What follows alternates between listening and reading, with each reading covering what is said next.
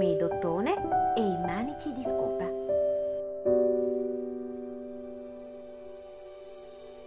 thank you